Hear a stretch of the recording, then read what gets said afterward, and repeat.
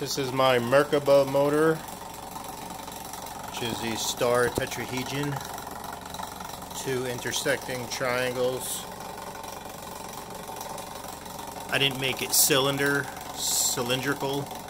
I just made two triangles like that and intersected them one up, one down. Have a rotor in between.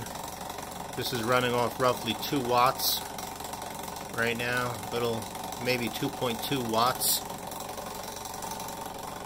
The induction's interesting. You hold the magnet in there and you could uh, feel what way stuff's going. It's pretty interesting the way you switch polarities and whatnot on it. But there is still standard back EMF. Lenz drag definitely still affects it.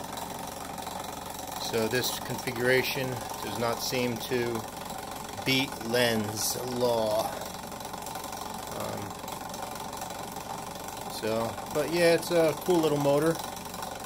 Probably going to take it apart soon. Could do a couple more experiments with it, but it's uh, no better than other motors I made. But still, cool little design, and the magnetism inside the coil is quite intriguing.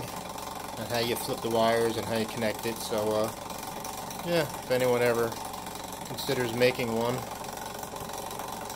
this is my update on the matter.